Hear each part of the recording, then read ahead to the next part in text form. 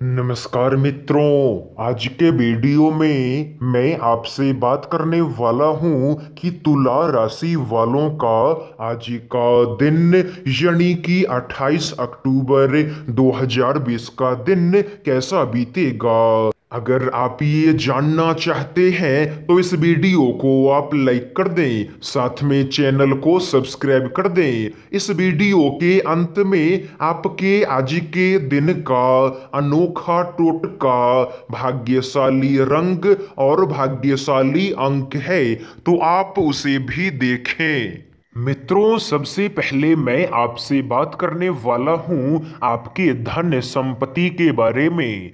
दोस्तों, पैसों के दृष्टिकोण से आपका समय सामान्य रहेगा। न ज़्यादा बेहतर, न ज़्यादा खराब। मित्रों, आज से पहले अगर आपका पैसा कहीं रुक गया था, कहीं फंस गया था तो अपने रुके हुए धन को आज के दिन आपको प्राप्त करना होगा। क्योंकि अगर आप ऐसा नहीं करते हैं तो आने वाले समय के दौरान धन संपत्ति के मामलों में आपको परेशानी का सामना करना पड़ेगा। वैसे अगर आपके स्वास्थ्य की बात करें तो स्वास्थ्य के दृष्टिकोण आपका समय बहुत ही ज़्यादा बेहतर और शानदार है। दोस्तों, आप में से जो भी दर्शक, जो भी जातक आज से पहले बीमार थे तो आज के दिन आप चिंता बिल्कुल भी ना करें, क्योंकि आज आपके स्वास्थ्य के मामलों में कहीं कोई परेशानी, कहीं कोई समस्या नहीं होगा। वैसे, अगर आपके दाम्पत्य जीवन की बात करें तो दाम्पत्य जीवन के दृष्टिकोण से भी आपका समय बहुत ही ज़्यादा बेहतर और शानदार है।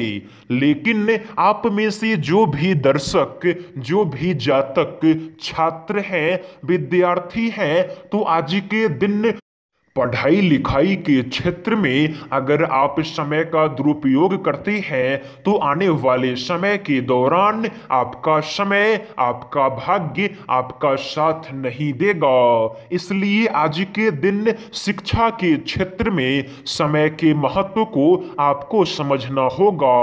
अगर आप ऐसा कर पाते हैं तो आने वाले समय के दौरान शिक्षा के क्षेत्र में कहीं कोई परेशानी नहीं हो होगा।